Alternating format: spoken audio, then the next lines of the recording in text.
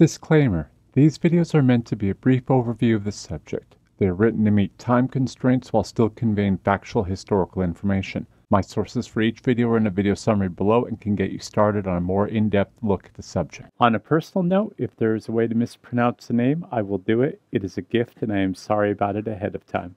Welcome to Things You Should Know, Civil War Edition. Today we're going to talk about the Battle of Prairie Grove, located in Washington County, Arkansas on December 7, 1862. Union General James G. Blunt had won the Battle of Cane Hill. Separated from the rest of his army by almost 100 miles, Blunt decided to remain at Cane Hill for a few weeks to recover.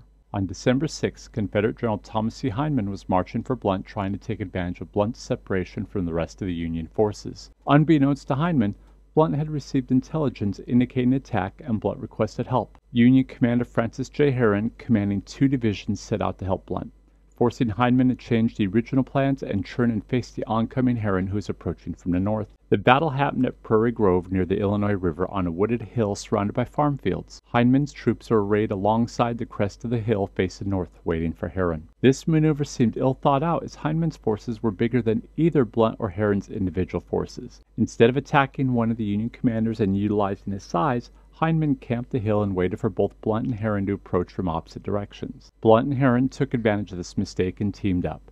Herron's two divisions approached Hindman from the north. Unfortunately, Herron's men were exhausted from the march to come here. They had marched fast enough that they lost a large portion of the two divisions who had to slow down to rest. This left less than 3,500 exhausted Union troops to attack 11,000 Confederate soldiers. Herron did not realize the entire Confederate force of 11,000 men had camped at Prairie Grove Instead, he thought it was just a smaller blocking force meant to slow them down. He never anticipated that Hindman wasn't going to attack Blunt's outnumbered men. Herron started the battle on December 7th at 10 a.m. Unleashing 24 Union artillery pieces for more than two hours, the initial salvo destroyed the Confederate artillery, and many of the Confederate troops had to take shelter on the other side of the hill, leaving their positions. Seeing so many men pull back, Herron ordered his infantry to attack, and 2,000 Union soldiers rolled across the fields and up the hill. As they moved past Archibald Borden's house, they unexpectedly encountered two separate Confederate divisions at the top, commanded by Brigadier Generals John S. Marmaduke and General Francis A. Shoup. The Union forces were crushed by the superior numbers of the Confederates. This is where Herron learned it wasn't just a blocking force but the entire Confederate army. The retreating Union soldiers fled back to the Union artillery positions.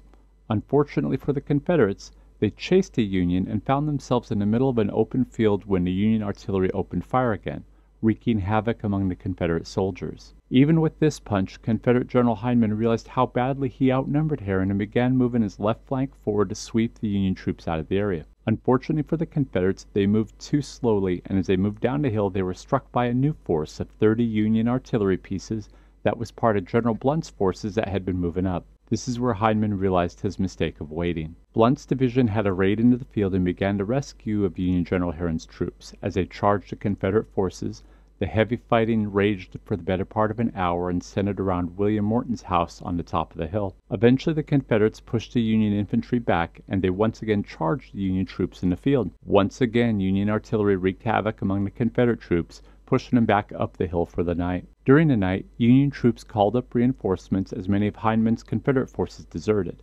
A large portion of those deserters went over and joined the Union forces. Realizing his position was untenable, Hindman returned to the Confederate lines with only a fraction of the forces he had left with. A very low estimate of casualties were 1,251 Union soldiers, comprising of 175 killed, 813 wounded, and 263 missing, while the Confederates suffered more than 1,317 casualties, including 164 killed, 817 wounded, and 336 missing. Join us again next time on Things You Should Know Civil War Edition.